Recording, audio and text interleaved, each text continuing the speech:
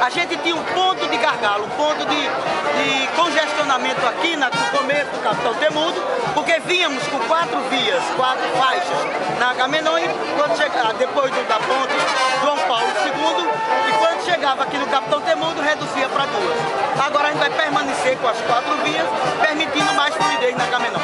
E na Capitão Ribelim, quais são as principais mudanças? Na Capitão Rebelião, a grande mudança é a permissão na, no de Boa Viagem, que a gente tenha mão dupla.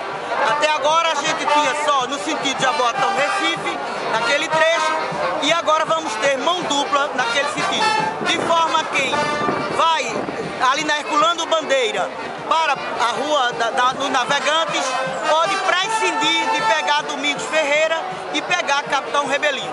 Agora, sempre a gente alerta, não vamos estacionamento proibido nesses trechos. Se houver estacionamento ali, vamos é, autuar, vamos retirar os carros, senão a gente perde a fluidez que tanto a gente quer.